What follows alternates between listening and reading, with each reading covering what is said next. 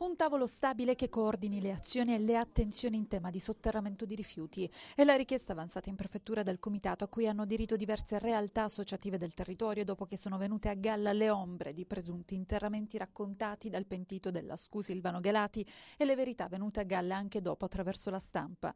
L'attesa c'è, si tocca con mano. Dopo l'apertura di un'inchiesta per traffico di rifiuti da parte della Procura di Lecce, ci si aspetta che anche la politica e le istituzioni facciano la loro parte nell'operazione verità e in quella di necessaria bonifica di siti inquinati. Vogliamo sapere chi deve fare cosa subito, eh, basta con le chiacchiere, basta con le indagini, ne abbiamo accumulate in tanti anni tante.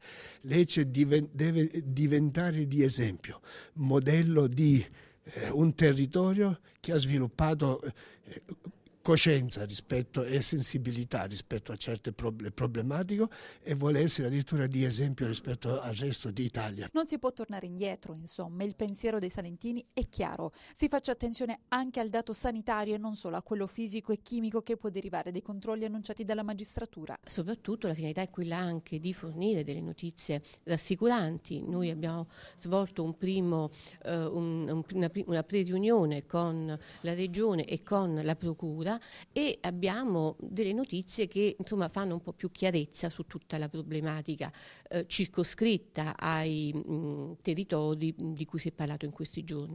Il procuratore aggiunto Ennio Cillo ha annunciato che l'intero 2014 sarà dedicato ad approfondimenti su questa tematica, ma è necessaria la massima collaborazione dei cittadini e dei sindaci.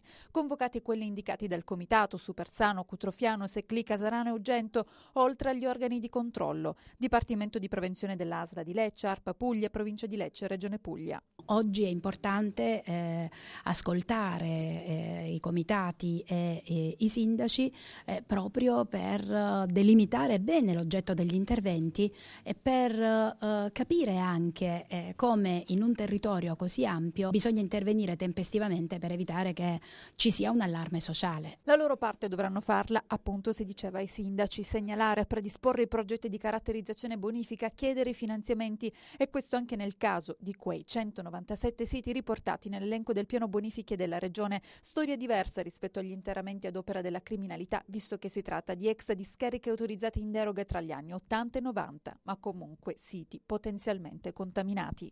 Queste caratterizzazioni, queste bonifiche comunque non sono di competenza del, del, degli enti regionali, perché ovviamente erano gestite dalle amministrazioni comunali e le amministrazioni comunali che sanno dove sono le devono bonificare. Quando le risorse finanziarie lo consentono, la Regione può eh, intervenire diciamo, finanziando gli interventi. Non possiamo andare oltre, non vogliamo fare meno, non possiamo fare di più.